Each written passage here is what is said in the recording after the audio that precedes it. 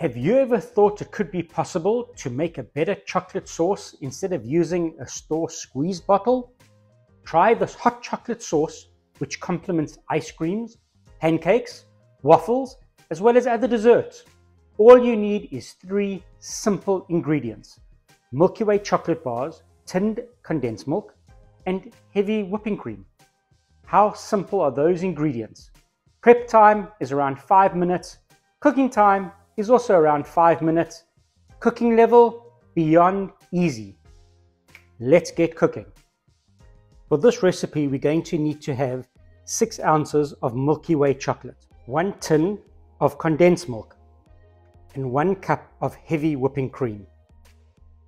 Starting off, let's cut the chocolate into individual halves. So let's add the whipping cream, chocolate,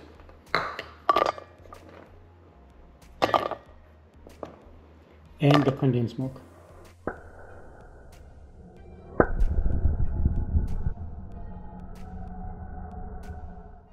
Make sure when you're doing this you continuously stir. You don't want to have a situation where you start burning the ingredients. So you can actually start seeing that the chocolate is actually starting to melt down.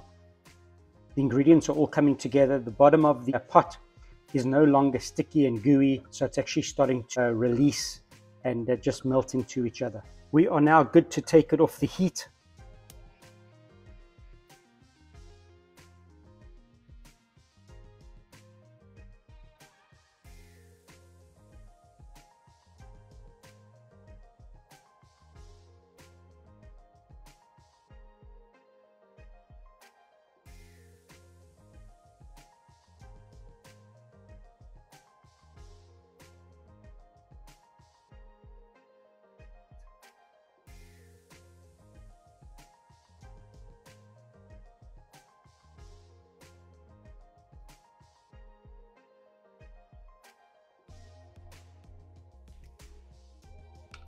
You get the taste of the caramel, you have the nougat, the condensed milk.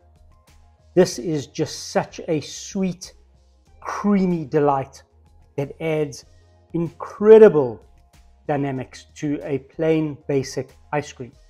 This works with all types of ice cream, although that we use the vanilla, it transforms your ice cream to a level of a thousand. Your family your friends, you have people over, your dessert will be a renowned hit. It is just dreamy.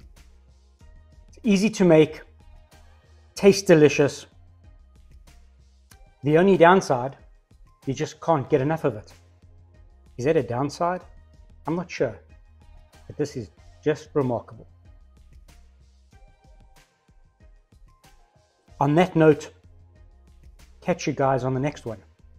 If I'm able to get my grubby paws out of this dish